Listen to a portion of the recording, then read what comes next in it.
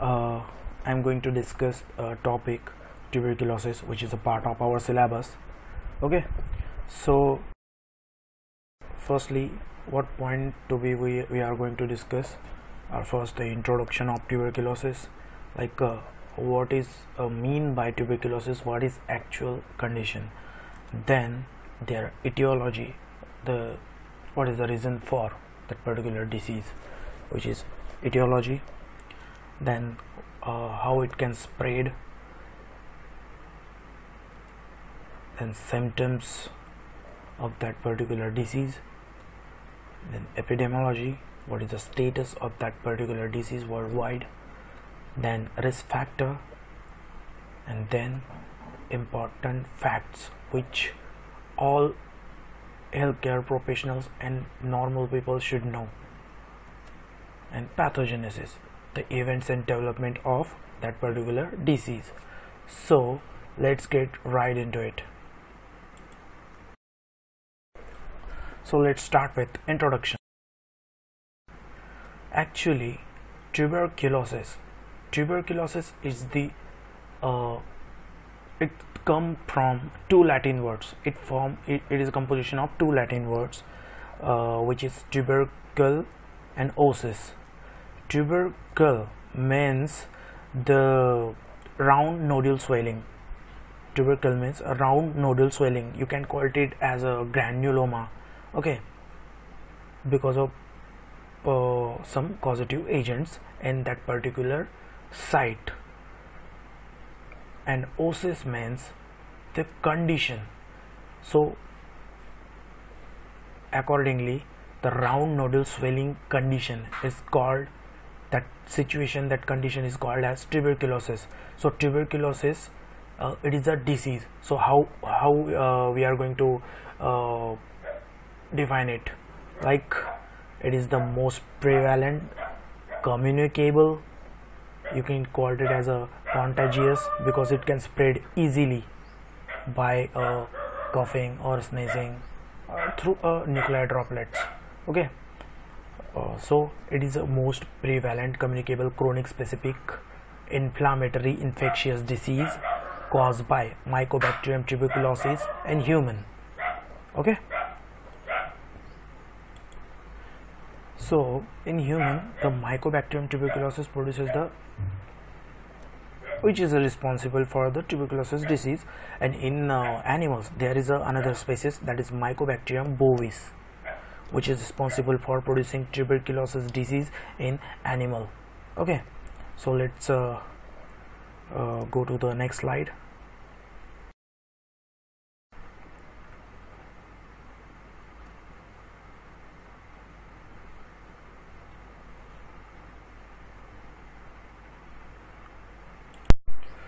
Okay so the tuberculosis disease is actually classified on the basis of uh, where infection is produced the site of infection. Okay so usually the pulmonary tuberculosis is most common tuberculosis. Okay 90% of tuberculosis is caused uh, which are worldwide which are pulmonary type. Okay respiratory uh, related tuberculosis. So uh, the type are pulmonary tuberculosis the pulmonary tuberculosis having two subtypes primary pulmonary tuberculosis and secondary tuberculosis. Okay so what is primary and secondary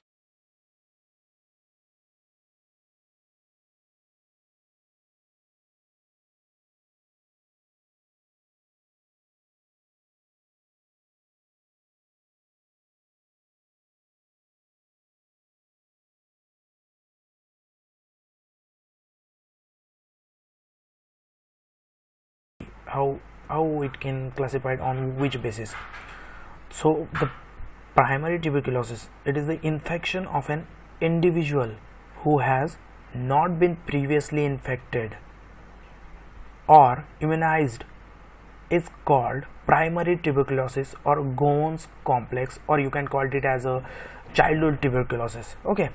And in case of secondary tuberculosis the infection that individual who has been previously infected or sensitized is called secondary or post primary or uh, you can call it as a reinfection or chronic tuberculosis.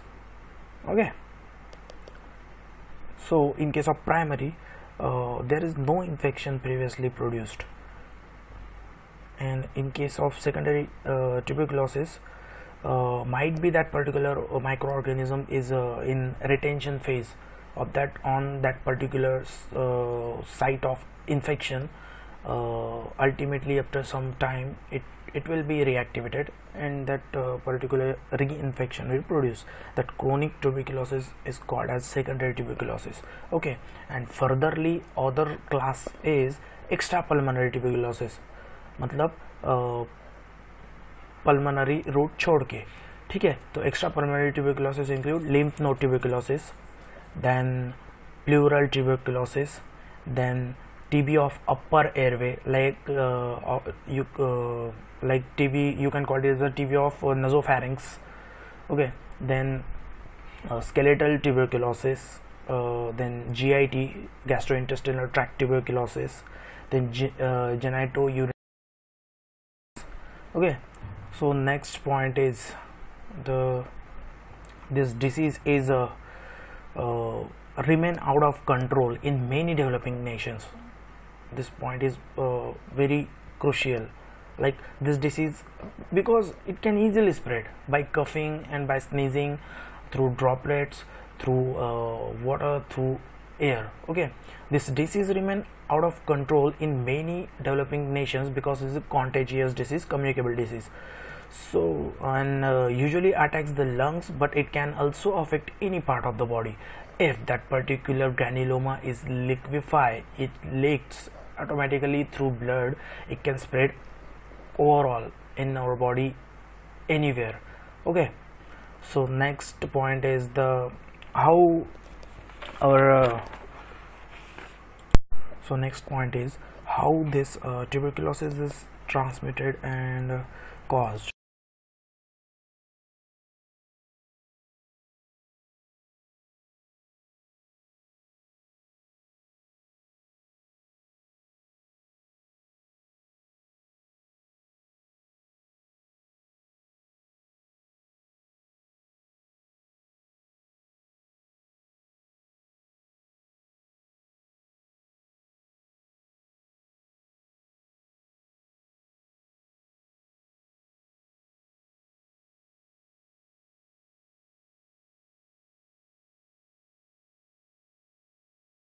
okay first point is uh, person to person. Like uh, person to person through the air by person with active tuberculosis disease of lungs by coughing or sneezing. Then second is ingestion of uh, M. bovis like mycobacterium bovis. It is uh, another uh, uh, another species of mycobacterium like uh, less frequently uh, transmitted by ingestion of M. bovis actually in case of unpasteurized milk there is a chances of mycobacterium bovis infection because in unpasteurized milk there will be the presence of uh, M. bovis bacteria okay so uh, so please before uh, before drinking milk please pasteurize it okay? Then inoculation. So uh, inoculation means you can call it as a vaccination. Uh, actually inoculation means the introduction of antigen. Introduction of any antigenic any pathogenic substance or vaccine into the body to produce immunity against that particular specific disease. Okay right? Then transplacental route through uh, placenta to the baby then uh, lab accident. Mm, it is a rare route but might be it can spread. So overall the etiology is the tuberculosis is caused by an organism called mycobacterium tuberculosis that is spread from person to person through the air. Okay the mycobacterium tuberculosis are sometimes called tubercle bacilli. Okay. next point is uh, etiology as we already discussed TB is caused by the organism Mycobacterium tuberculosis and the Mycobacterium tuberculosis organism are sometimes called tubercle bacilli okay the another species of Mycobacterium tuberculosis are uh, Mycobacterium africanum Mycobacterium microti Mycobacterium leprae Mycobacterium avium Mycobacterium asiaticum okay then the characters before uh, before studying any uh, disease uh, treatment and diagnosis we must know the what is the causative agent of that uh, disease and how it looks what is their monograph and uh, what is the features and characteristic of that uh, organism. So we can uh, we can uh, target that uh, particular bacteria and then and then we are going to able to kill we are going to able to kill that particular bacteria okay? So we must know we should know the characteristic of uh, mycobacterium tuberculosis uh, stain okay? So what are the characteristics of mycobacterium tuberculosis? So first characteristic is it is a gram positive rod shaped bacteria. You can you can see here okay? Gram positive rod shaped bacteria. Second the length of that bacteria is near about 2 to 4 micron and the diameter of that bacteria is near about a 0.2 to 0.5 micron. Okay? Then it multiply very slowly. It multiply uh, very slowly uh, their proliferation rate is very slow. Uh, it's like uh, near about it takes 18 to 24 hours for one dividation okay. Then uh, remain dormant for decades. It can remain uh, in dormancy phase for for years. Okay. Then next is uh, it is not spore forming non-mobile bacteria. It can stay at one site. It is non-spore forming bacteria. It, it is divided very slowly. Then have a lipid rich cell wall with 50% mycolic acid. So mycolic acid it is the uh, acid. Because of that part mycolic acid that bacteria get uh, very very uh, protective cell wall from macrophages. So how it is protective we are going to see in pathogenesis. Okay. It is aerobic so it required oxygen to uh, do uh, respiration and other metabolic activities. And uh, it is a mesophile bacteria. So actually what is mes mesophile? Mesophile means uh, uh, an organism which grow at moderate temperature between 20 degrees celsius and 45 degrees celsius with an uh, optimum growth temperature in range of 30 to 39 degrees celsius they are isolated in both soil and water environment. Okay. So that point is mycolic acid. So here i already depicted like mycolic acid uh, present in its cell wall makes it acid fast bacteria. So what what that uh, macrophages having lysosomes uh, acidic uh, enzymes that acid, acidic enzyme uh, can't digest that particular bacteria. Okay? So uh,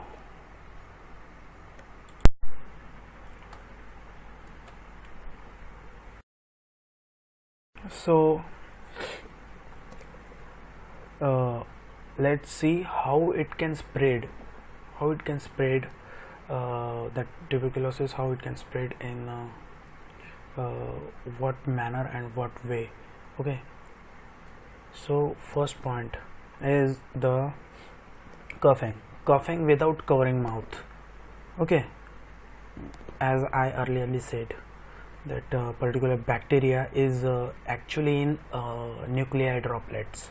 That droplets having lots of uh, uh, tubercle bacilli. So it can easily uh, inhaled by other person. And through 3 to 4 weeks up to automatically it, it can get infected. He can get infected okay? Then uh, next is uh, splitting everywhere. So don't split anywhere okay? Then third is uh, crowded place with uh, poor ventilation.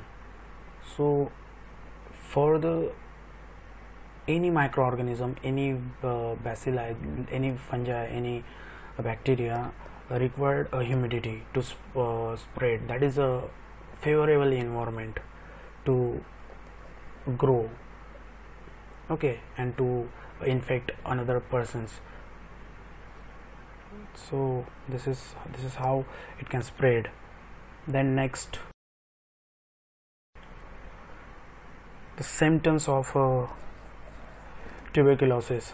So the first symptom of tuberculosis is the persistent coughing. The persistent coughing uh, again and again frequently uh, that particular victim will cough then chest pain very severe chest pain uh, in frequent manner.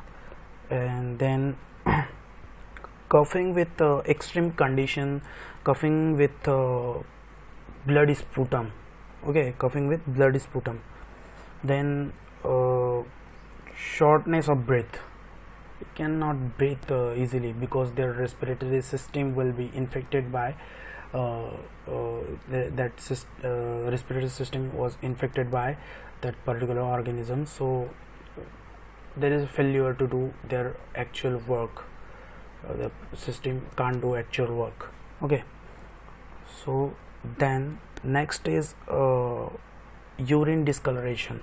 The discoloration of urine is like uh, dark urine discoloration. You can see there is a darkish discoloration. This is a uh, diagnostic uh, diagnostic tools for the tuberculosis. Okay. Then the uh, like fever and chills frequently fever and chills occur then uh, fatigues. Fatigue is there uh, in symptoms of tuberculosis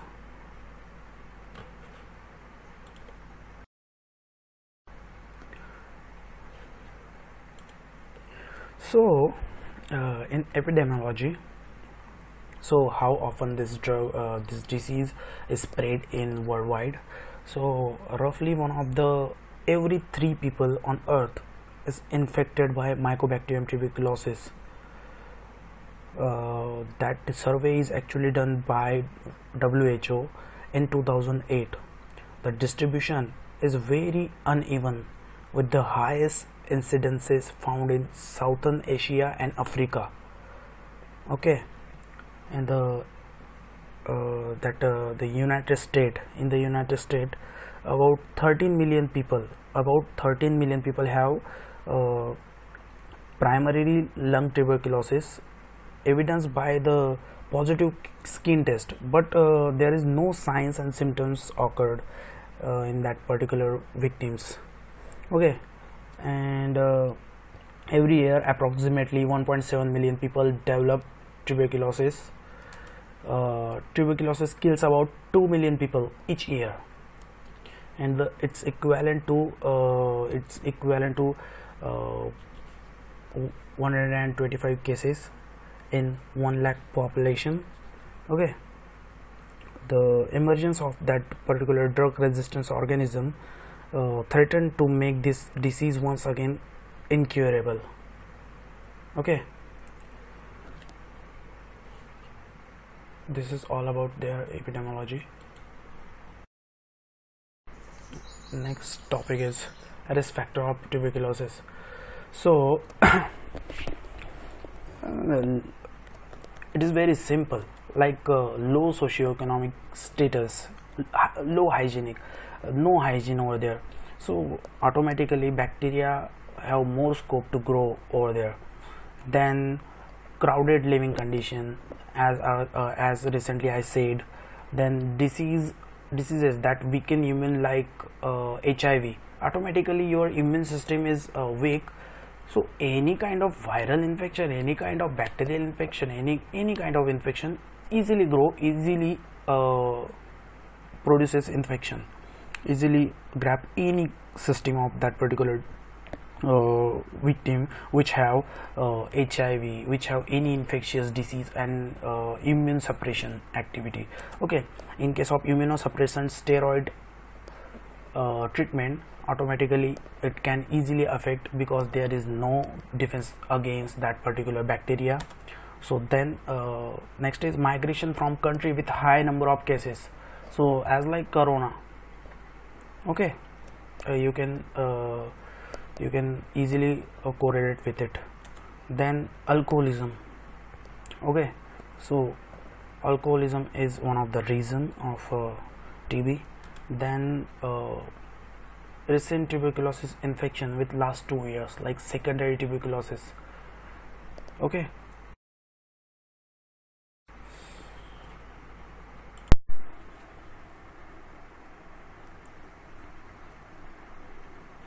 so important facts of tuberculosis.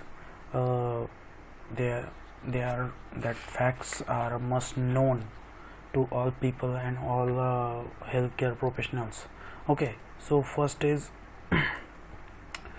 millions of tubercle bacilli in lungs mainly in cavities. There are millions of uh, mycobacterium tuberculosis in lungs mainly in cavities.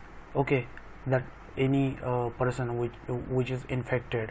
And that uh, droplet can spread uh, that droplet can uh, uh, flow can uh, flow and you can call it that droplet can spread up to 1 to 3 feet. So make so maintain the proper distance from in, infected person. Okay then that particular droplet nuclei is is look like uh, this. Okay? You can see. Then that uh, coughing project droplet nuclei into the air that contain tubercle bacilli and one cough can release 3000 droplets nuclei. One cough can release 3000 droplet nuclei. And one sneeze can release tens of thousands of droplets. So be aware.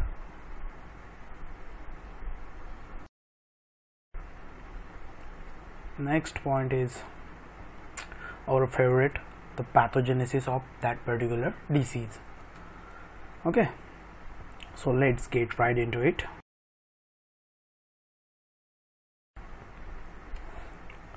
So the first step in that particular pathogenesis of that disease is exposure to source.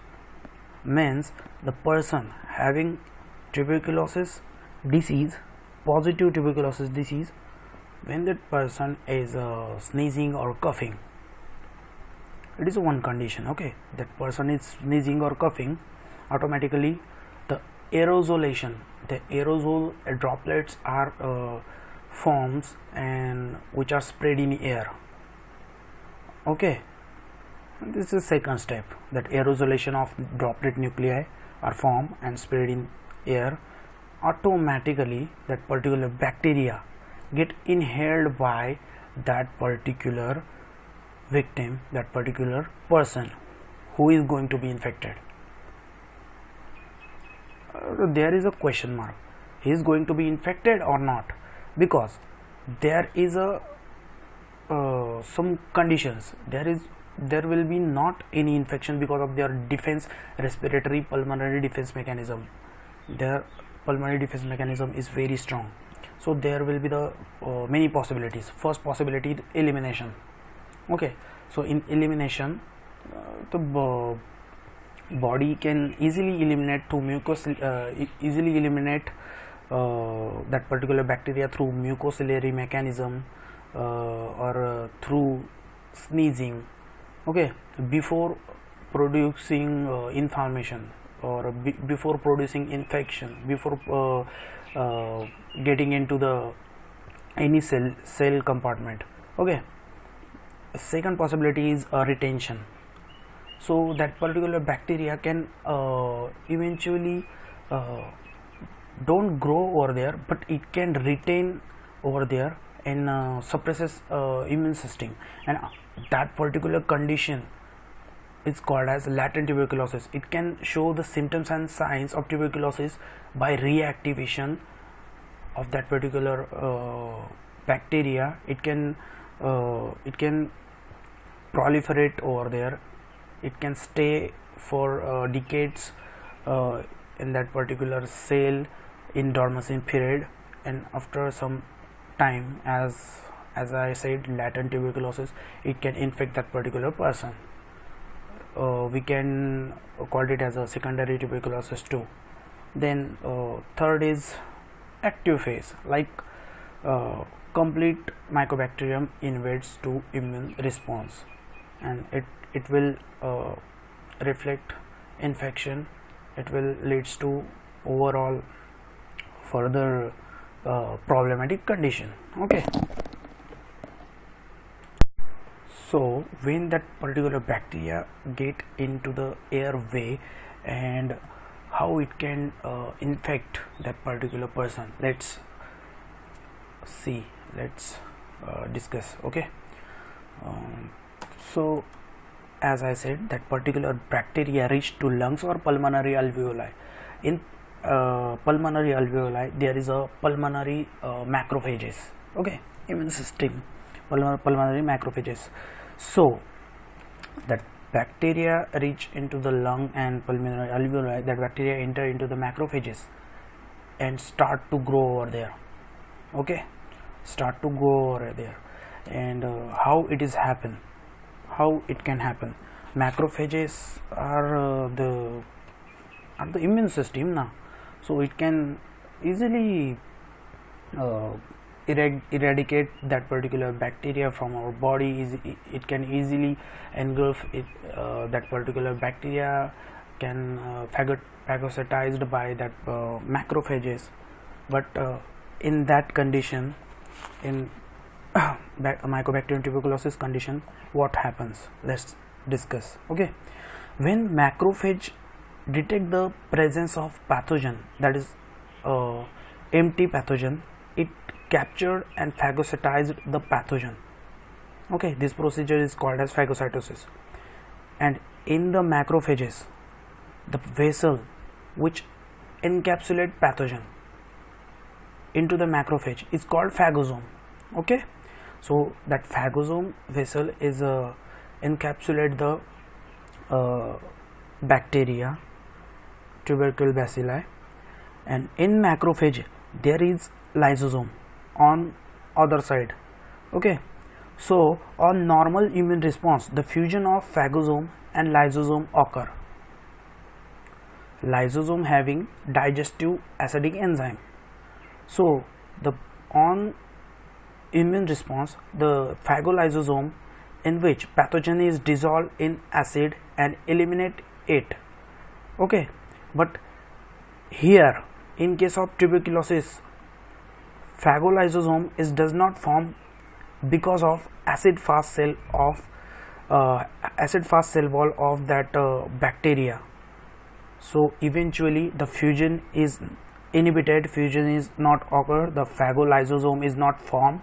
So that particular bacteria will stay in macrophages.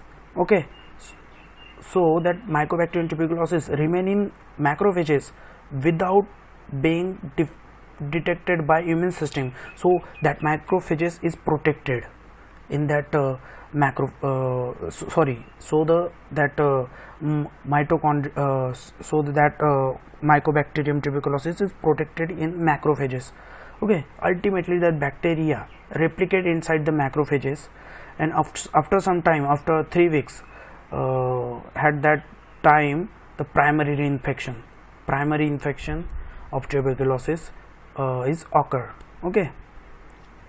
And after the cell mediated immunity activation so that all leads to formation of granuloma formation formation of granuloma okay? The granulomatous lesions begins to form. So if immune suppression occur because of uh, bacteria because of uh, because of no detection of that particular uh, uh, tuberculosis bacteria so the bacteria cease to grow lesions it start again to grow in another macrophages. It can infect another macrophages too. Okay that condition is called as reactivation. It can enter into the another macrophages and it can uh, regain their proliferation. Okay. So after granulomatous formation there will be the uh, two possibilities. First is the lesion liquefies and second is the bacteria coughed up in sputum and uh, it will uh, that our respiratory system is trying to uh, get expelled uh, trying to get uh, uh, get out of our body. Okay? But when that condition this is lesion liquefy that particular lesion particular granulomatous lesion is get liquefied it leads to spread to the blood and then to the organ through blood vessel. It that liquefies uh, uh, granulomatous lesions having a strain of that particular bacteria which is causative agent of tuberculosis. So it can automatically spread to the another organs. So another organ get infected other organs are infected. So that particular organs are uh, can't do their work enough. So automatically it leads to death it's all about the tuberculosis pathogenesis. Okay. So thank you